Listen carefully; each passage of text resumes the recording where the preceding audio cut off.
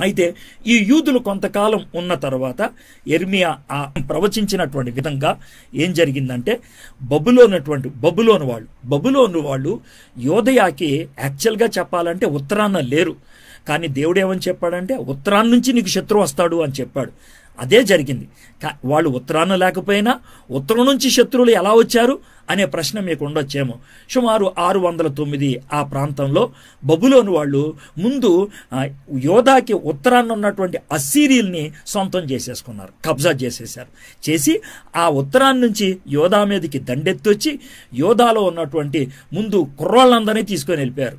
మనకి తెలుసు కదా దానియాలు షడ్రకు మెషకు అభెజ్ఞకు ఇలాగ దగ్గర దగ్గర పదివేల మంది కుర్రాళ్ళని తీసుకెళ్ళిపోయారు.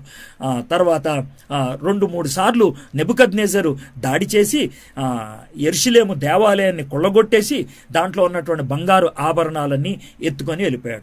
ఇది అనుకోకుండా ఏం జరగలేదు. దేవుడు దగ్గర దగ్గర నూట యాభై సంవత్సరాలుగా యష్యా కాలం నుంచి ఆయన ప్రవచించుకుంటూనే వస్తున్నారు. మీరు చెప్పిన మాట వినకపోతే ఇలా జరుగుద్ది అనేసి.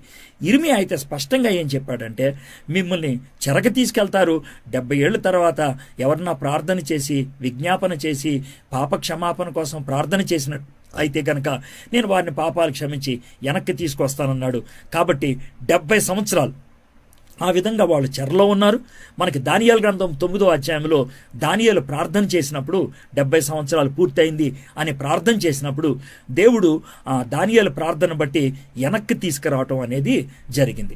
వెనక్కి వచ్చిన తర్వాత వాళ్ళు కొన్ని సంవత్సరాలుగా దఫాల దఫాలుగా ఎజ్రా అని తర్వాత ఈ జెరుబ్బాబేలు అని యహోష్వా అని ఇలాంటి వ్యక్తులు వరుసగా ఒకళ్ళొకళ్ళు రావటం బట్టి చివరికి నెహేమియా రావటం బట్టి ఆ యొక్క మందిర నిర్మాణం అయిపోయింది.